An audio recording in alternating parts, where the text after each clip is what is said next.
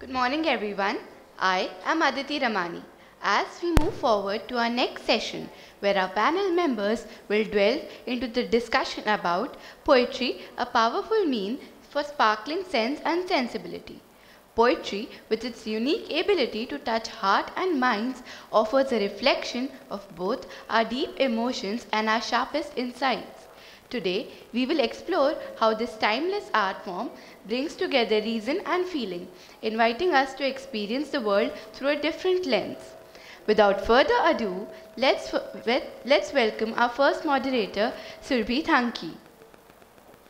She serves as the event director for TED Prahlad Nagar. Additionally, Surbhi is a member of the editorial board for the Social Digest, a magazine focused on the social and cultural discourse. Next, we have Gautam Vegda is an anti-caste poet, illustrator, painter and a PhD research scholar from Gujarat. He has taught a variety of subjects at, at India's premier institutions like IIT Gandhinagar, NID Bangalore, NID Ahmedabad and Gujarat Vidyapeeth. Dr. Sonali Pattnaik is a feminist, poet, academic and a visual artist with a PhD in English literature. She has received numerous accolades including the Panorama International Youth Literature Award in 2024 and the Orange Flower Award for Poetry in 2022. An accomplished academic and a former lecturer at Delhi University, she continues to teach at prestigious institutions and advocates for a gender-just society through her art, poetry and activism. Maitri Devi Sisodia, currently Deputy Collector and SDM Bodevili Chhota Udepur, is a former software engineer with a passion for public service. Her experience with NGOs and leadership organization shaped her commitment to social causes. A writer at heart, her first book, Contemporary Cheer Haran, Women Fighting Indignity and Injustice, focuses on women issues. She is now working on editing her second book, a poetry collection. Mr. Mukul Kumar is a civil servant, novelist, poet. Currently, he is working in the Railway Board Ministry of Railways. He published work include three novels and three poetry anthologies. He has been honored with the National Award for Outstanding Service to the Indian Railways, Bharat Nigam, and, and Award for Literary Excellence by Bharat Nirman Foundation and Purvanchal Gaurav Samman for his contribution to society and bureaucrat.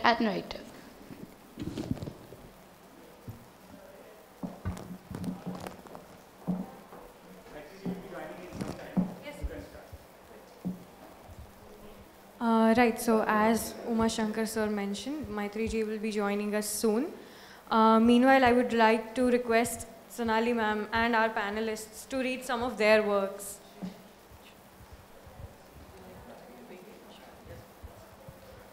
Am I audible? Yeah? Okay. So thank you so much, uh, Surbhi, and uh, yeah, thank you everyone for coming for this session. It's Garba time, and everyone wakes up late and so on, dancing through the night. So, you know, uh, it's lovely to have so many of you here, that too on a Sunday. So I'll read a poem that's called The Unknowable. Uh, because I believe that, uh, you know, um, as, as what I have seen in my, you know, years of teaching and time on earth, we are very threatened by things that we don't understand. We are threatened by the other. We are threatened by that which is, doesn't fall easily into our understanding of identity and so on. So this poem is influenced by, I don't know how many of you know, a character called Naba Gunjara. I am from Odisha. Nabagunjara is a nine, um, you know, limbed or nine kind different beings fused into one. And this character only appears in the Odia Mahabharat, written by Sarala Das, which is very interesting. And what happens is basically Arjun meets the Nabagunjara in the forest. And Arjuna is uh, baffled, you know, like what is this creature? And immediately he takes out his bow and arrow to shoot it. Because he can't understand, because it is so, because he can't understand, it's horrific to him. And so he thinks he must kill it. So this is my response to uh, that idea the unknowable. A God who is nine kinds of creatures stitched. No, not stitched. Nothing with needles or thread. More ephemeral, this coming together, fused miraculously through the insane imagination of a crazed poet in love. the universe in dazzling corporeality, physical metaphysicality appears. Rooster, lion, snake, peacock, elephant, bull, deer, horse, human. It comes from the same part of vastness, although an achingly long time ago I learn as I have done, born from the ink of a poet's love of paradox, Sarala's subtle sight, or the, or the forest's haunting fragrance, or perhaps the story's wide open mouth, the unimaginably strange, terrifying, and gorgeous one who lives in the mind tongues of artists' hands as they twist and cross their sinewy elbows, fine fingers and legs, and become flowers upon the still water of creation, etching and painting the impossibly enchanting, the haunting, as they bring to bear upon a patachitra a story art in movement, a nine bodied planetary being, a kaleidoscopic dancer in the wild, severally limbed, proud polymorph, a kind of god, a kind of myth, a spectral thing, neither human nor animal, nor both, the Nabagunjara, celestial creature of yore, or that whom only this stupendous earth could give timely birth, you have come to me today as a vision in the dark, as though you wish to whisper to me some ancient secret I lower my ear and heart and ask, What? Put down your bow, you say. Your imagination is not all. Other imaginations also bear fruit. All seeds to the ground must fall. You need not discard all that you cannot believe or own the world in knowledge. You need not know me nor I you. And yet, to each other's truth, we may surrender. The polymorphous is not monstrous, neither is the multiple. In many lies the form of one, there is no other truth you are meeting but yourself. Let the cloud of ego melt before the fire of vulnerability and you will see you too have a rooster's plume, a tiger's claw, and the stinging and mighty snake as a tail that follows you and raises its hood at wounding memories awakened. Or none of these you are at all, for who knows the self or the other ever?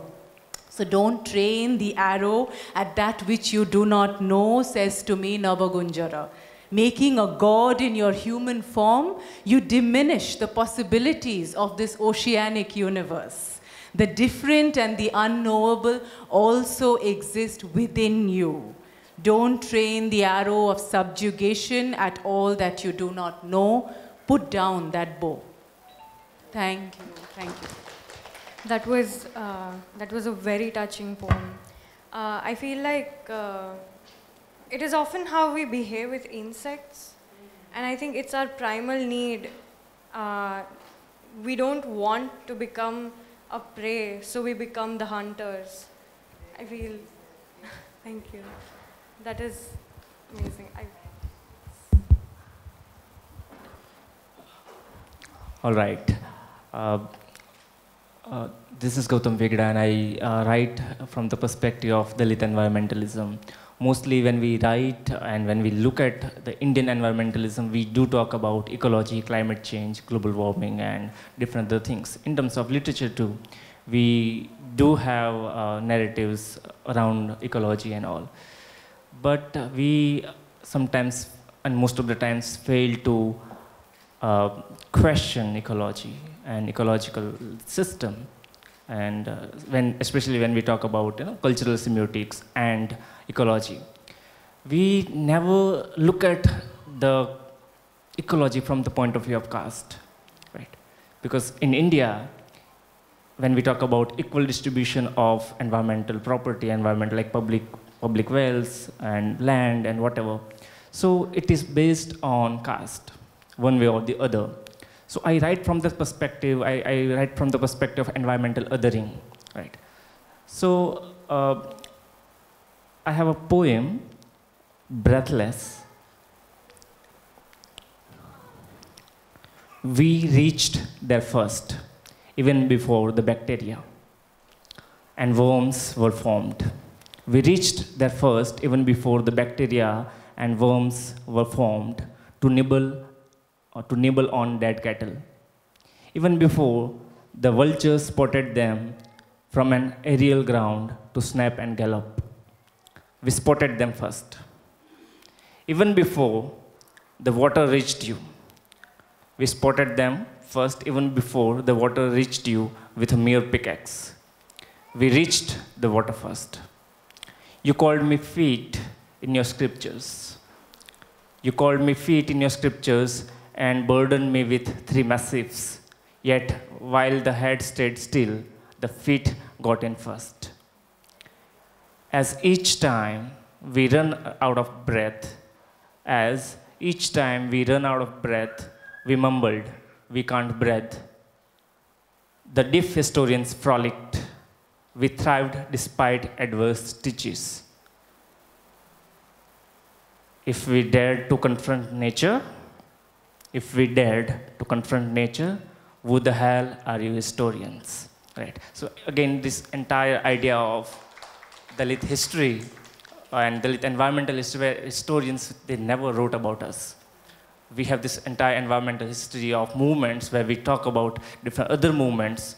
We simply don't talk about Dr. B.R. Ambedkar's Mahad Satyagraha, which was the movement for environmental justice. He was saying that the public wells and public water is the property of everyone, where the Dalits were excommunicated and they were simply denied. They were simply denied the access to water, which is the fundamental right, right? But still, in Indian environmental history, we don't talk about Dr. B.R. Ambedkar and his Mahad Satyagraha as one of the you know, biggest uh, struggle for, the, for water rights, right? So uh, another small point, uh, organ donation. I too wish to donate organs, just to feel to know. Who requires my perennially parched throat? Or does anyone cry out for my shriveled heart to your bitterness? Not a bad deal. In picking my brand new skin, no one has touched it yet. Even my shadow is perpetually untouched. Try my lungs at least once, lest they take a free, deep breath for a moment. Cobwebs have obliterated all the space in my eon old void intestines. If someone embraces this entanglement and pours some ghee into it to ooze fire once again, do we get some eye recipients? Then I offer sleepless and desiccated corneas, which is yet to you know, maintain eye contacts with you. But I will never proffer my tongue. But I will never proffer my tongue. Will it ever utter a word for the downtrodden from your mouth? Will it ever utter a word for the downtrodden from your mouth? My tongue will remain equally wetted even after my passing. Vocalizing against injustices. Walls will be razed to the ground. The bamboozling books will shudder. The luminous rays of consciousness will pierce the darkness. Thank you.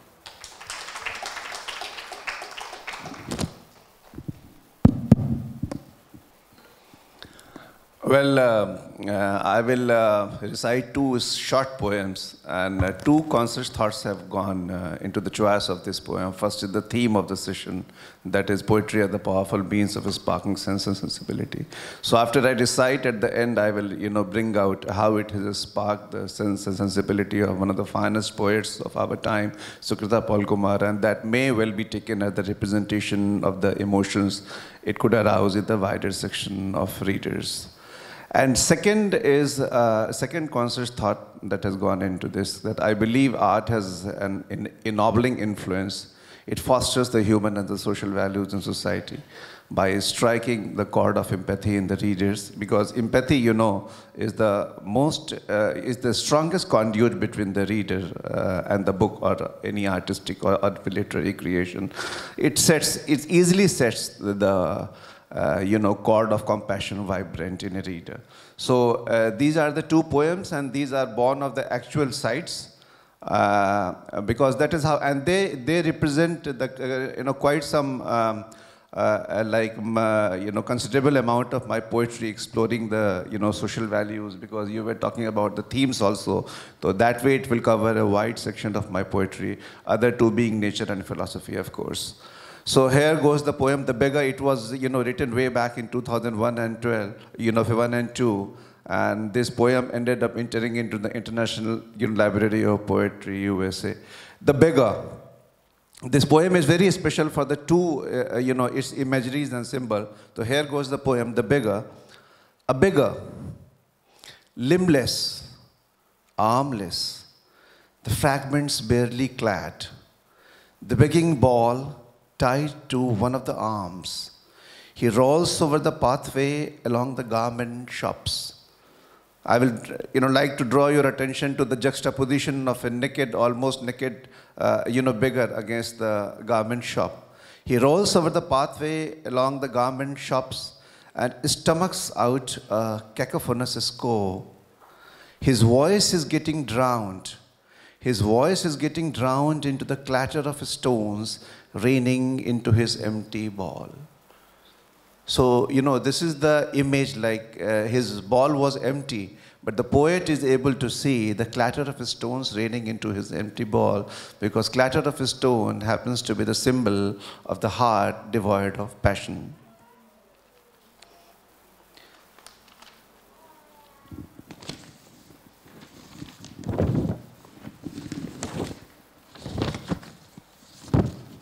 You know, the second poem again is born of the actual, uh, you know, site, real site.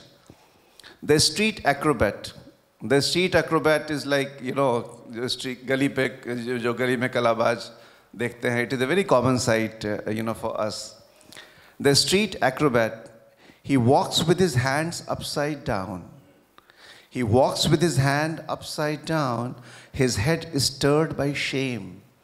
His head is stirred by shame, but his inverted intestines coil around his head but his inver inverted in intestines coil around his head and steady it in balance.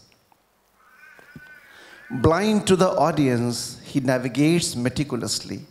Blind to the audience, he navigates meticulously. Even quite a while hence, he notices that he is navigating only over the concrete and no currency.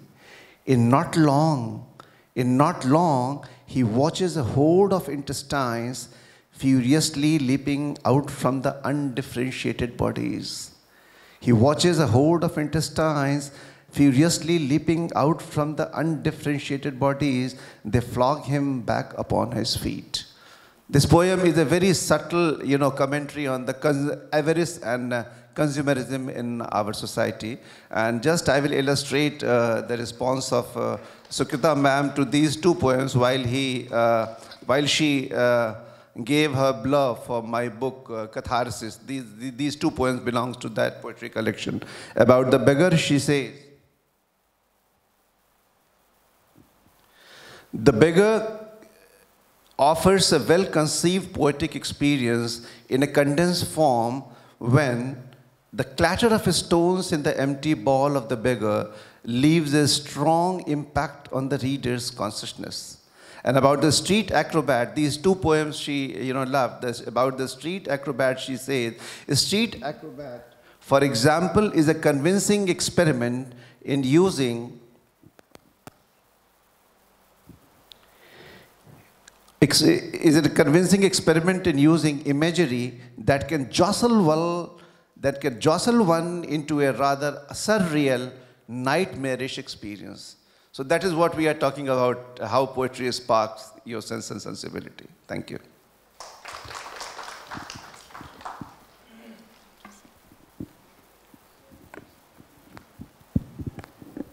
Good morning, everybody.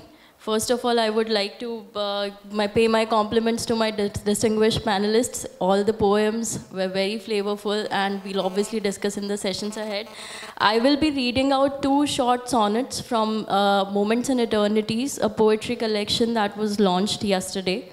Uh, first of them belongs to uh, Echoes of Self, uh, one of the sections of the poem which uh, deals with, you know, self-reflection and introspection.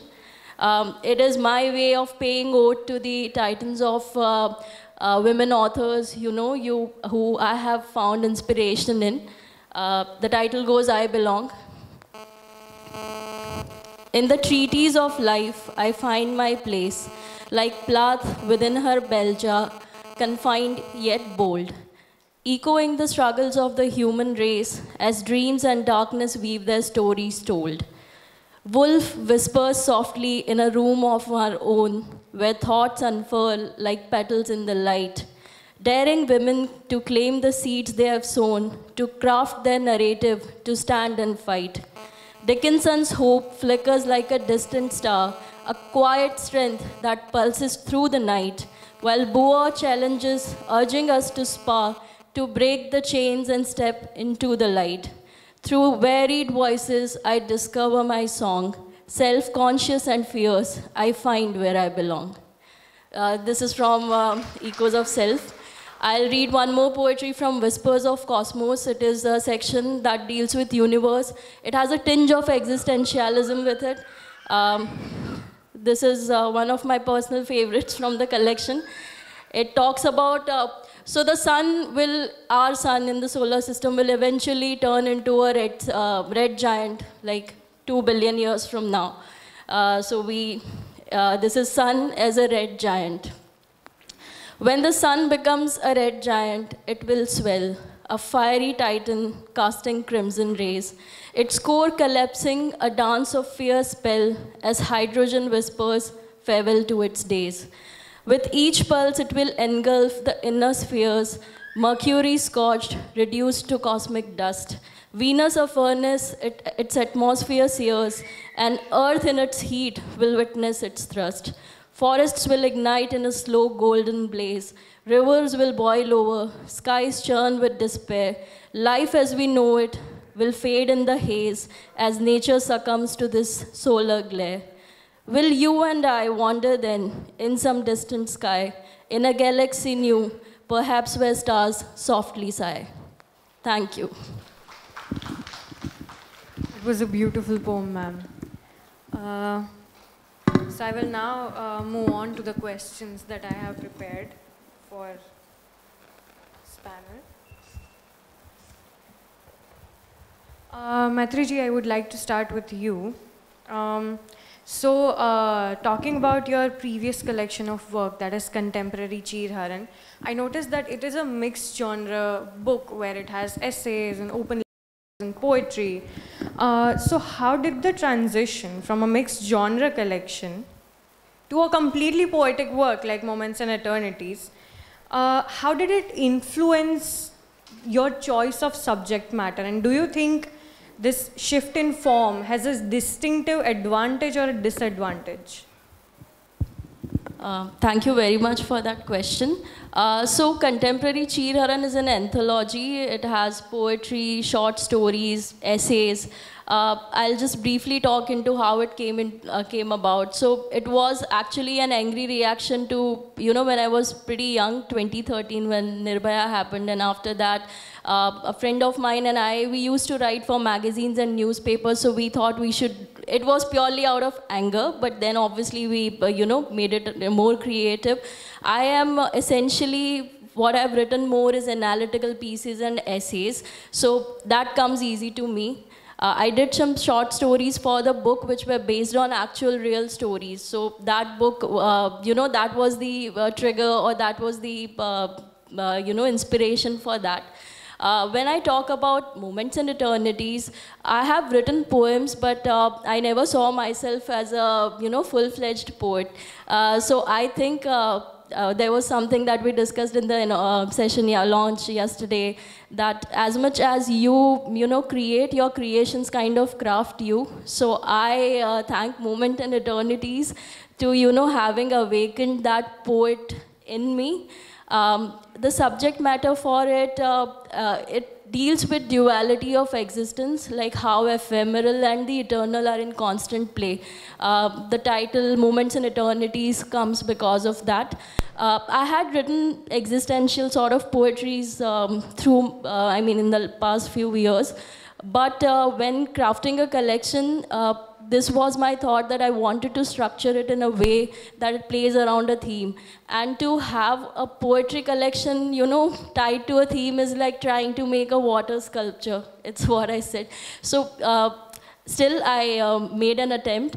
Uh, Moments in Eternities del- uh, deals with this essential duality that is constantly in, you know, eh, constantly every time in life we feel this.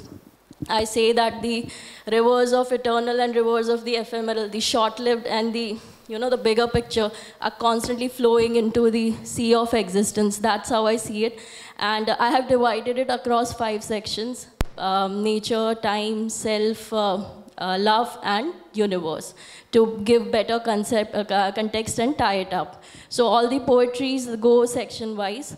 Uh, now talk, coming to your second sub question, that is, uh, is there an inherent disadvantage with it? I think I'm pretty new to my literary journey, but I feel all forms of uh, writing have their own, uh, you know, utility. And I think as creative people, uh, the biggest takeaway apart from it all is, you know, the ability to kind of resonate with someone.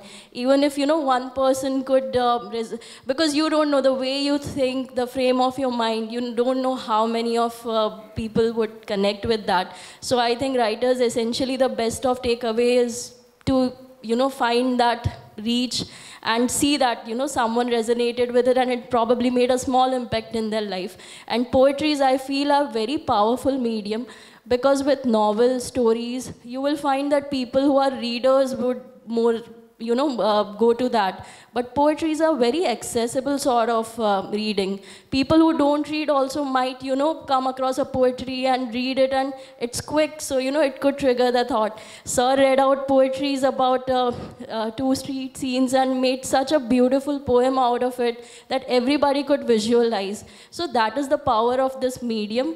Uh, I don't think that uh, it takes away any due from other mediums of writing. But um, poetry is very powerful because of its accessibility, because of the quick thought it could trigger to the reader.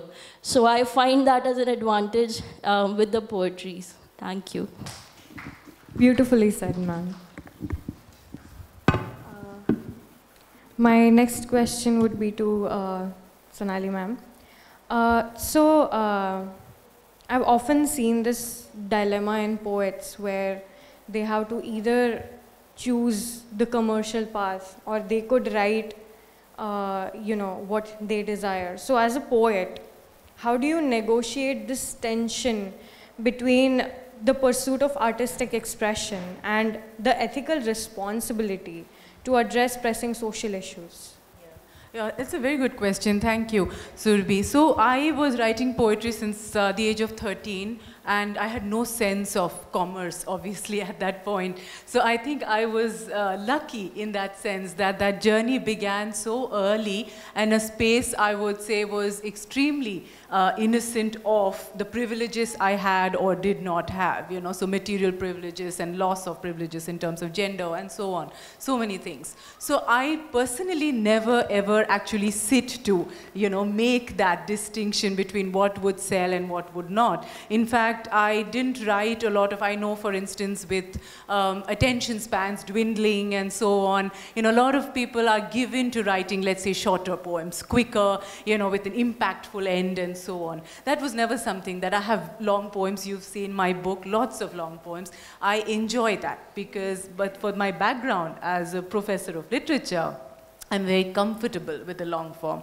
And in fact, I encourage people to stay with a long form because nothing to say, you know, against haiku or other short forms or anything because that also requires a lot of, uh, and poetry, Surbhi, I don't know, it, it's not uh, one of those things that's not a bestseller anyway right? You have to sort of, you know, you have to go to it, you have to stay with it, you have to work for it. It's, it's like finding that diamond or whatever, you know. Uh, something that comes with a lot of sweat and uh, immersive experience. You can't just read that one poem and feel uh, excited. It's not your go-to self-help book either. So it really doesn't have that market. So for me, I write from a position of uh, completely knowing myself and what, uh, where my angst is, where my pleasure is, uh, what questions bother me, and never from the point of view of is this going to work, is this going to resonate, or the least.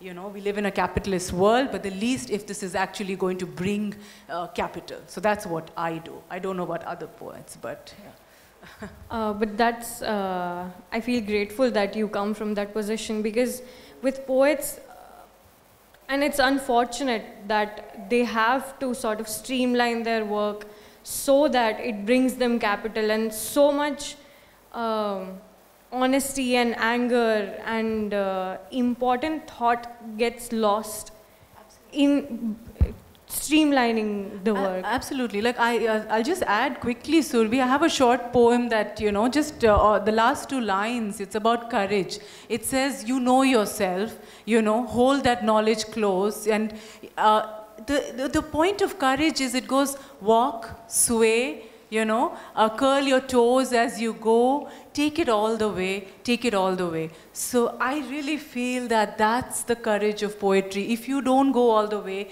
if you feel like I must tread this careful line, this is not the right time to say the right thing, that is not good poetry for me, at least. Whether it sells or not, that's a different matter. But that's not good poetry.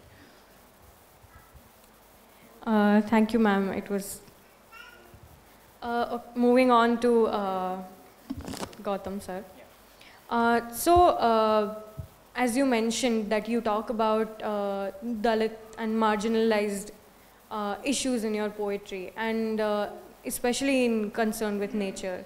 And poetry, I have noticed, it all, it often explores the interconnectedness of life, of how everything is connected to everything. So, how crucial do you find the exploration of ecological interconnectedness is in your work, especially in concern to marginalized communities? Absolutely. Uh, thank you so much for this particular question. Uh, mostly when we talk about anti-caste literature or Dalit literature, which uh, I'm also a part of, uh, so when we talk about that, so it's not the literature of you know observance. It's the literature of experience. We experience things. People say "I- we don't observe caste because you don't experience it. You're the oppressor. So that's why when Dalits they are writings, when you know people from the particular community they are writing, so they have their own experiences that the other community will not have, right? So that's why they do not have the authority or maybe the authenticity of experience. So when I say, uh, you know, when I talk about uh, the dead cattle or dragging of the dead cattle, my mother used to drag dead cattle, right? And um, we used to work, uh, we uh, tanning and eating uh, rotten carcasses, and also not being allowed to touch and to be touched, not being allowed, not to be allowed to walk on the public street, and things like that, right? So again, these are, this is the part. That's why I'm saying that each and every experience of our lives are connected uh, with this ecological burden sometimes and ecological othering where we are not supposed to walk on the land on the street. The street is very much part of the ecology and where we are othered right intentionally and historically right. And even still every day we find the same uh, like uh, space where we are uh, given that kind of uh, you know hints uh, to know that who you are right? So uh, it's it's it's experiential. Uh, when we talk about you know vultures so the the vultures that you talk about is the vultures like ramayana vultures jatayu right? The king of vultures and things like this very divine vulture. But we have seen the vultures. We have uh, you know coexisted with vultures. I have seen what vultures does. I have seen the biological vulture i have seen you know the entire committee of vultures what do they do? And that that ferocity is such that that particular geographical site that we live that no one comes because it, it's stinking. It's it's horrific. It's terrible. It's terrific right? So we have been into that ghastly space and we have lived with original vultures. Right now vultures are not there. Due to diclofenac uh, uh, drug the vultures are almost extinct and uh, due to since again when we talk about climate change and everything we never talk about that geographical space when vultures go extinct it's we we had to eat much more than we used to do before तो उसको खाएगा कौन अभी vultures नहीं है तो गाय मर गई है भैंस मर गई अभी again we call that you know cows but again very sacrosanct kind of animals again but when it comes to when you milk and you the the cow is dead they used to call us कि ले जाओ खा जाओ right tanning कर लो कुछ भी कर लो so we we had to experience all this things वो हमारे हमारे जियोग्राफिकल उसके अंदर होता था that was the case so our ecology is different ecology and that's why I am saying that's why I talk about Dalit environmentalism that you don't know the horror of that या thank you Uh, it was a very crucial point that I feel you just pointed out, where you talked about people who come from a position of privilege, see the mythological beings, versus uh, somebody who has experienced it, see the biological form of it. So, this narrative of, uh, you know, and uh, uh, in the contemporary times, we see that uh, a lot of poets write poetry about the issues faced by Dalits, and they don't come from a background which is anti-caste. And I feel like uh, the community again suffers more because they are being spoken for and uh, not spoken of. Uh, In fact, Be- quickly, just not to interrupt, Bell Hooks, uh, African American writer, black writer, she says this. This is the greatest danger of intellectualism. You can take somebody else's voice, the marginalized voice, and make it your own and then sell it uh, for that. So that's the danger that, that's also part of the interconnectedness, you know, the discursive interconnectedness of something like ecological uh, and environmental studies. The elite can uh, take it for themselves and then co-opt uh, Dalit identity or anti-caste identity for uh, their own gain, and then that becomes a very different uh, discourse. Definitely. And that is Uh, why I have chosen to write in English because again there are very few writers. I'm the only Dalit writer who comes from uh, you know Gujarat who writes in English in Gujarat. So again there is like these spaces are so empty, and, and there are people who like take uh, take out our our our pain and suffering and they they just sell it. So I, I just don't want to talk about my pa- pain and suffering. I do I do want to assert. I do have the aspirations, and that's why I do talk. I, I sometimes right now I write about you know this concept of science fiction.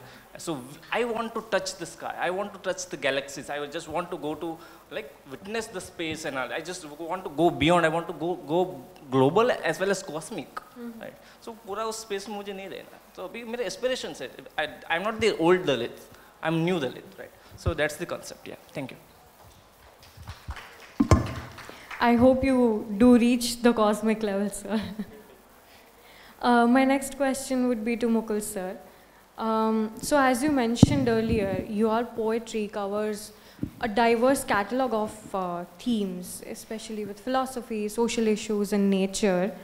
Uh, now, what I want to ask you is how does the thematic focus of your work influence your poetic style, uh, be it form or other te- technical aspects of it?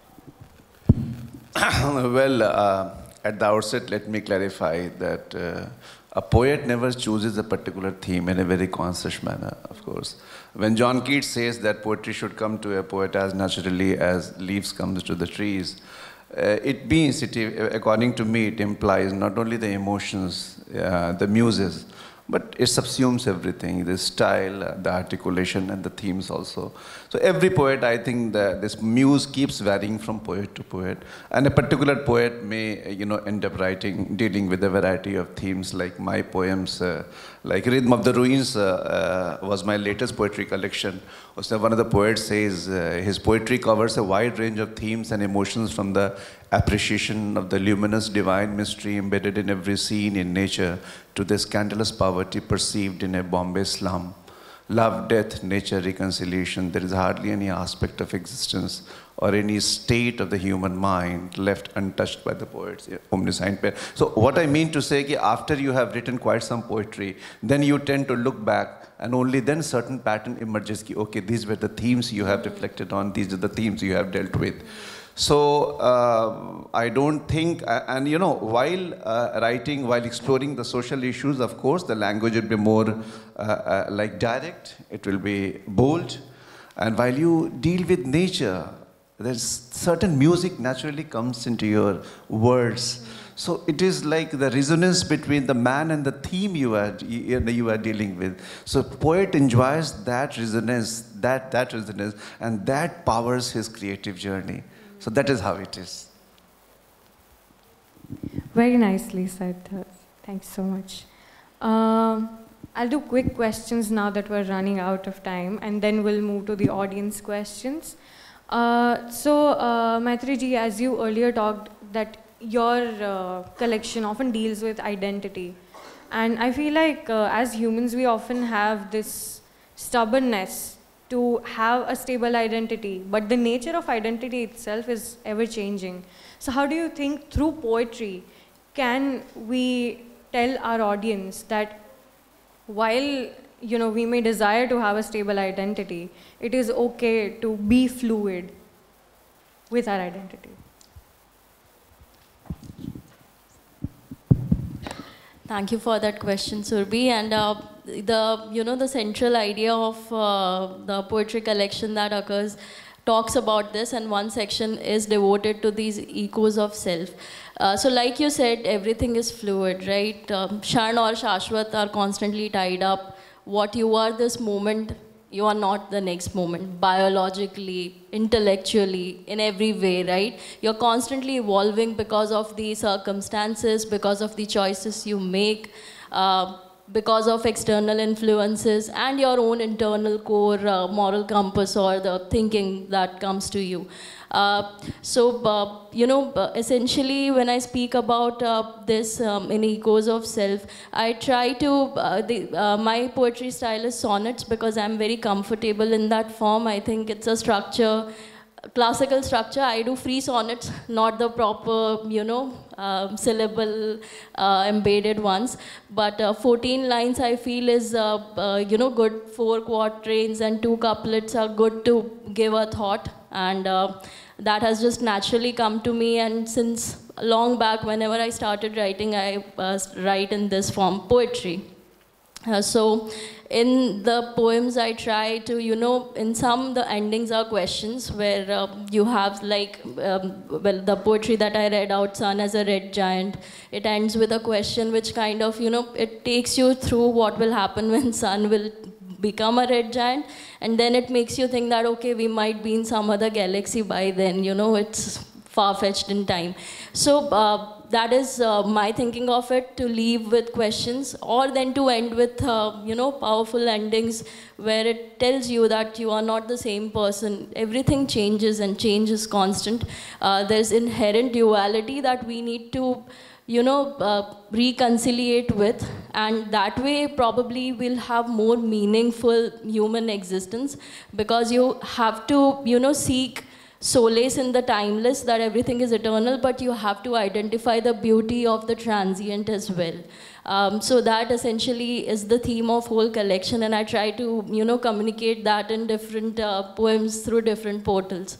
Um, so I think that suffices to answer your question. Thank you.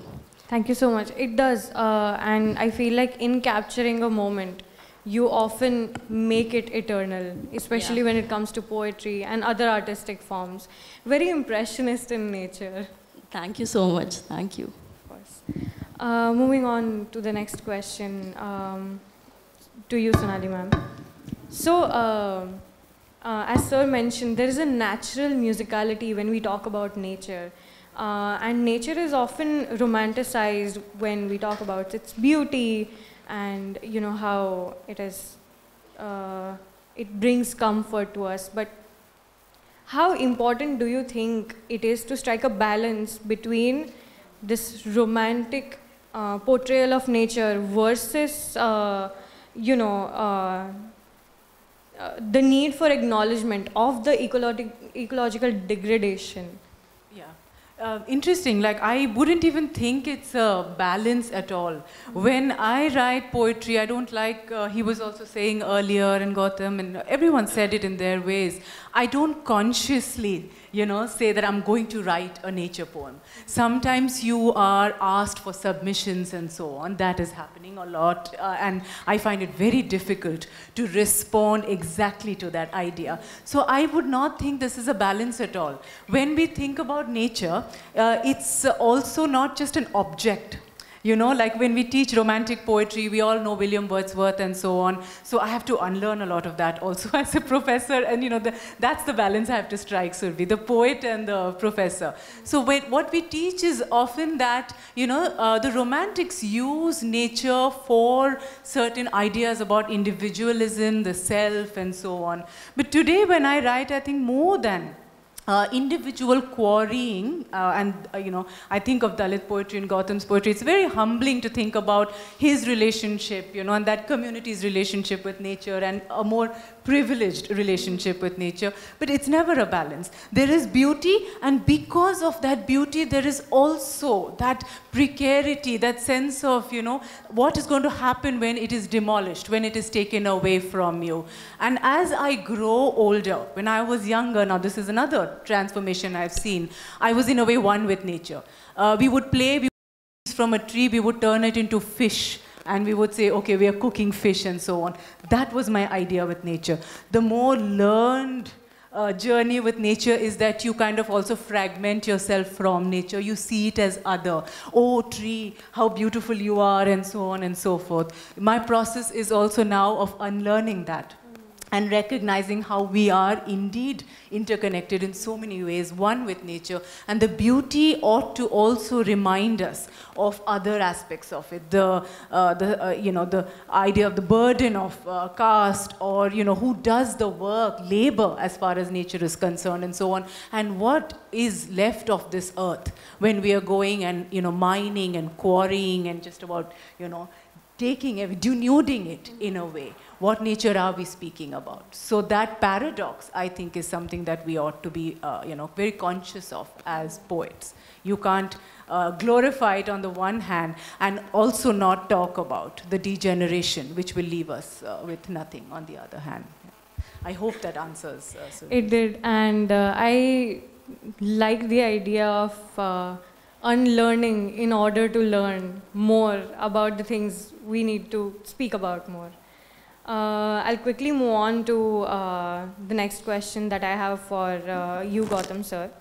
So, uh, coming from the background that you come from, to what extent does uh, a poet bear the responsibility to amplify marginal, marginalized voices, whether it's in relation of social issues or uh, environmental aspect or any other subject matter?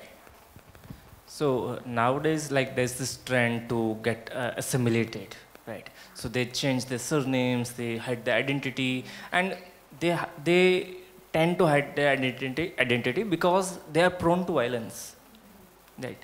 And and that is what it is. So they don't want to, you know, uh, to be prone to any, any any violence, and that's why they don't come up with their identity. There are very few Dalit writers. There are many Dalits. There are many who writes uh, many who write, but only some of like me or maybe there are many other young writers. So they come and they assert their identity and they just they do talk about that I'm not the old one. I'm not the one that you like, like oppressed or victim, but I'm the one who has been like you have inflicted violences upon us, but still we rose up and uh, right now uh, like we have the aspirations and the kind of aspirations that is of some other level, right? So yeah, so that's why it's, it's very important to come out and say and speak.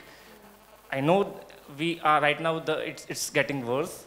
The situation like the, the right to speak uh, and uh, speech and everything is, it's, it's not that uh, free, but uh, we should speak what is, whatever is the result. Yeah.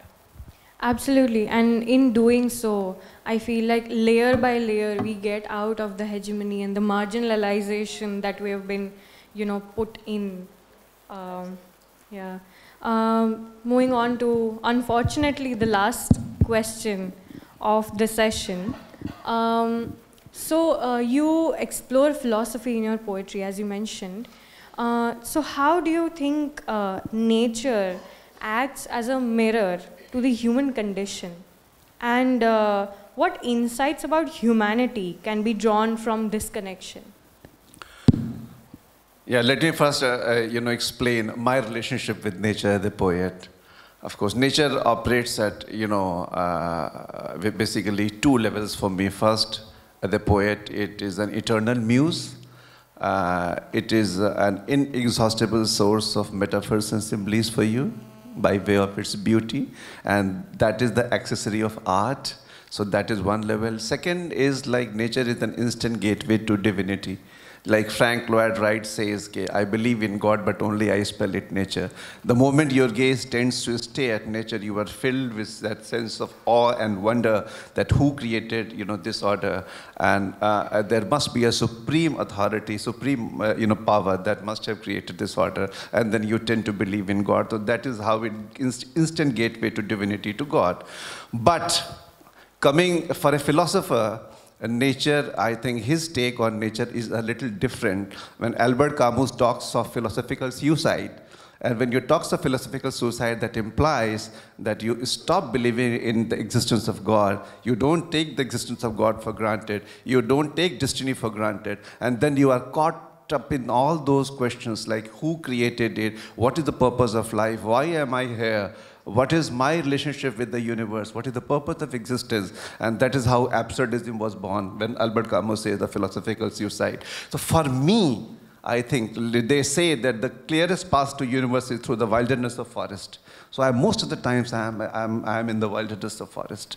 So that is how, uh, uh, uh you know, a philosopher interacts with nature and how nature inspires his philosophy because that is the power of philosophy to frame different answers to the same questions. So that is how he you know, produces beauty in the process. Third part uh, that will end up uh, answering your question, how it offers the imagery for the human condition. A very, very short poem, like a poet who is uh, like uh, gloomy, in his gloomy moments, how nature offers the imagery, and ultimately, without any change in the material condition of the poet, it brings cheers to his gloom. So that is, uh, uh, this poem is titled The Resonance. And the resonance is that I am inert through the shifting hue. He's looking at, so, you know, he is reflecting on nature. I am inert through the shifting hues.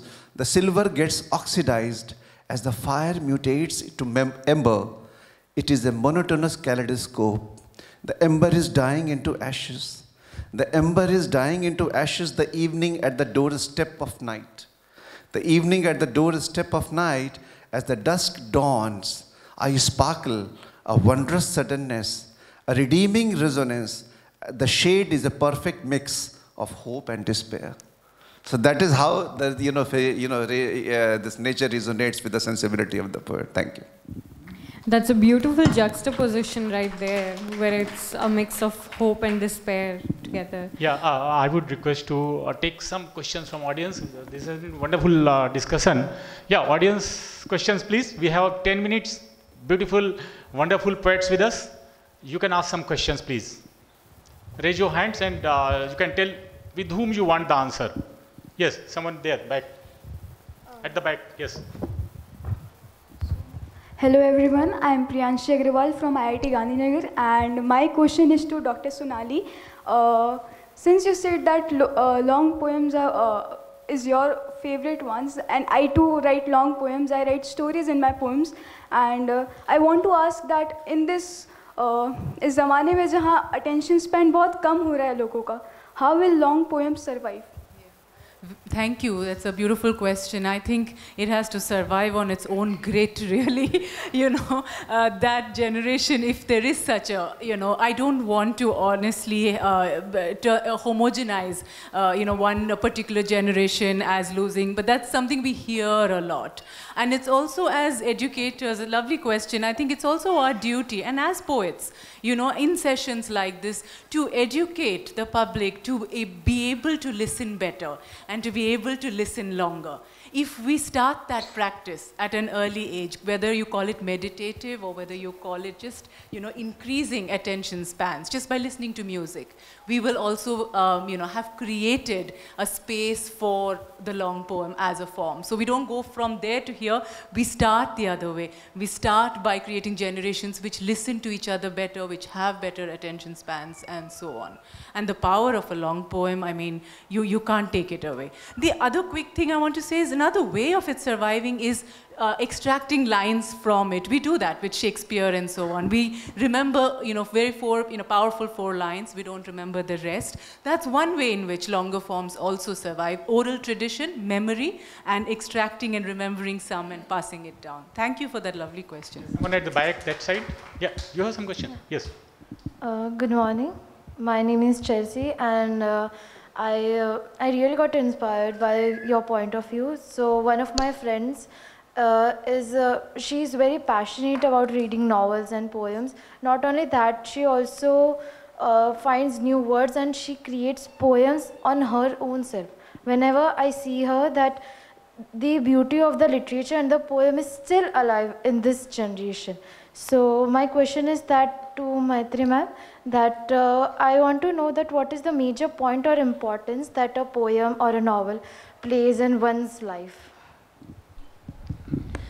I think um, you know. Thank you for that question, and um, kudos to your friends who friend who writes poetry like that, finding new words. I think we are all inherently explorers by nature, even when we are creating, like human as species. So when we are creating, also we kind of exercise that exploration and see you know where it takes us like all of them said all my distinguished panelists about what is their process creative process and uh, you know, it is said that the poem comes to you. Uh, I would uh, say something about, uh, you know, just one line. Very celebrated Indian author, uh, revered Ruskin Bond, sir.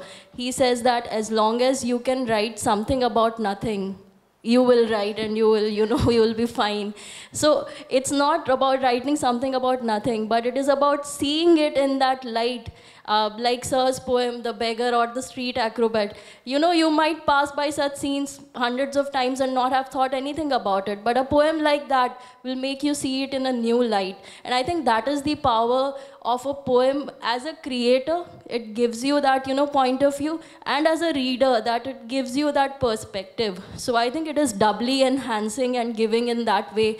And that is the power of poetry, or for that matter, any form of literature. Thank you so much. Yeah, hello. Uh, this is to all the panelists. As a former, like as a poet myself, there are a few questions that I want to ask. One is like, what does it take for you to accept you are a poet? Because as someone who has studied literature in Xavier's, I have always seen a standard set for us, like, you know, when it comes to poetry. So at what point in the journey do you start accepting that you are a poet rather than doubting yourself? Then the other question is like, after an interval, like, you know, after you have written something, after a, like, you know, brief interval, do you always feel like, you know, you could have done better with the poem? Like, do you want to change something and stuff like that? Like, you know, the third question is, what is your refinement process? Like, you know, as it connects to the second question. Like, you know, how would you refine your poems? Uh, like a specific word that resonates with you more now that you have, like, you know, spend a separate, like, you know, a, a quality time away from it. And the last question for me would be is like, you know, where do you draw the line? Like, you know, especially when it comes to like your bias, your edginess, your, di your diabolical, like, you know, thought systems and all of that stuff. Like, you know, where do you draw the line? Where are you crossing the path where, like, you know, you are actually called a lunatic? I would like to uh, answer the you know first question. Uh, the first question is how uh, you get confident that you are a poet. You go as a poet to uh, the society and the public at large. I will just share my experience. I have been writing uh, verses. I will not say poetry, verses. Very unconsciously, I used to scribble a few verses in my very formative year. A schoolboy sitting uh, in a quiet corner, and very reticently, uh, you know, scribbling verses and keeping them to him, his own self, himself, uh, you know, because he was not confident how it will go out, what he is writing. So that approval, that validation which you are talking about, when you start thinking. I was lucky that my father happened to be a you know professor of English literature. So after uh, uh, you know after I uh, was continuing this journey of scribbling verses, then uh, there came a juncture of my life uh, as a college kid. I showed uh, certain verses to him. Okay, this is what I have written. I don't know what they are uh, and how it will go out to the world. Then he said, okay, uh, these I think muse-wise it is wonderful, expression is good, but you are gripped with the thought because I, I never studied poetry in a very scientific manner, like what is the meter, what is the rhyming, and uh, you know, poetry has got certain scientific principle. But you are lucky that you are born in the times when poetry has been liberated from the stylization. If we are writing in blank verse, we are writing in free verse, all sorts of experimental, you know, experiments are going on.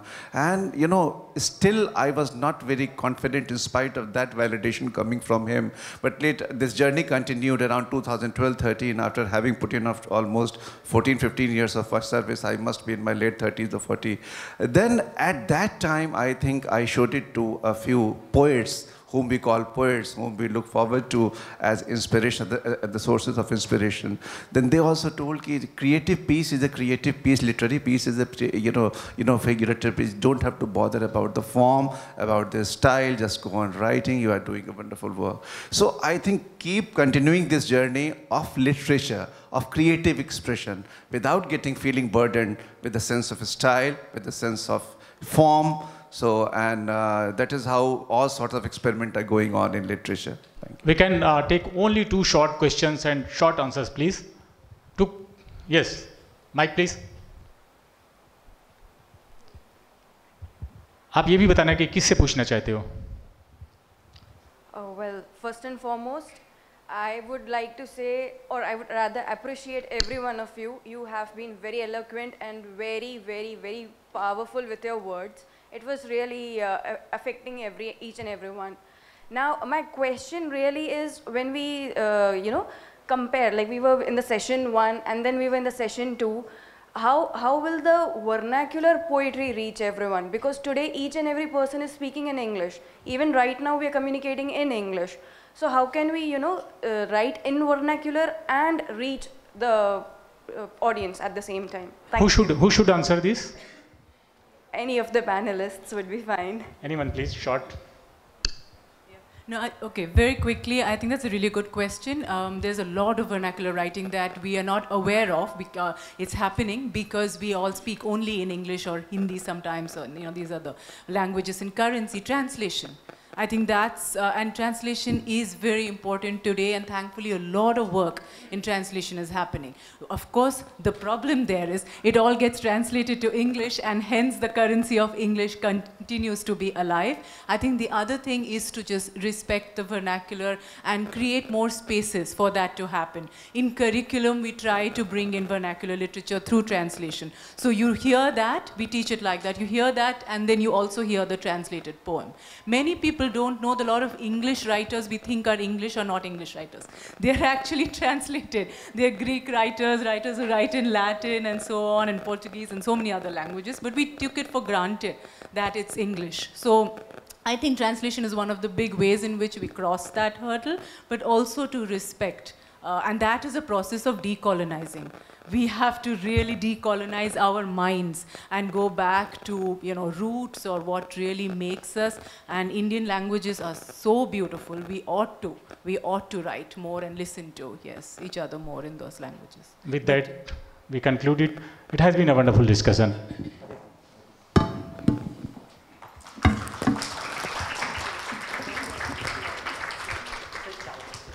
Now, I would like to invite Dr. Upendranath Raina, Dr. Purnima Bhatt and Priyanshi Patel to kindly felicitate the speakers. Yes, Priyanshi ji. Priyanshi ji, please come, come on the stage. And who was the other? That's Upendranath Raina ji and Dr. Purnima Bhatt, please.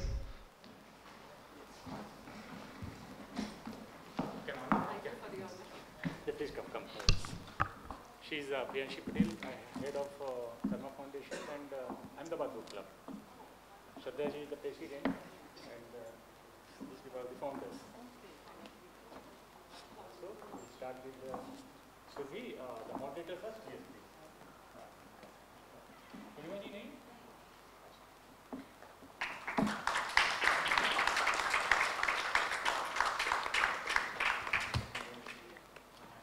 This is from Aditya Devi ji.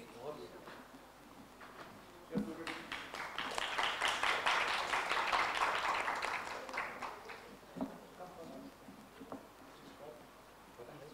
have been very vocal and uh, I wish you all the very best. Others uh, have been there, no? Really? Right? This is for Pratham bhai. This is for Nitinji. And this is for Surbhi.